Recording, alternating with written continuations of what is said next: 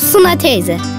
Bugün de torununu arayıp telefonla nasıl fotoğraf yollayacağını sordu. Hem de dört defa. Bunlar Özgür'le Aslı. Bugün de önce sen kapat, hayır sen kapat diye inatlaştılar. Ve yine Özgür kazandı.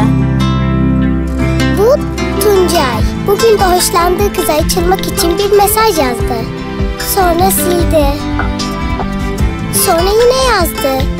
Sonra yine sildi. Güzel anlarınıza bizi de ortak ettiğiniz için teşekkür ediyor. Türkcell'li olduğunuz her gün için Sarı Kutu'da puanlar biriktiriyoruz. Siz de hemen Sarı Kutu'ya gelip puan toplamaya başlayın. Türkcell'li olmanın mutluluğunu doyasıya yaşayın.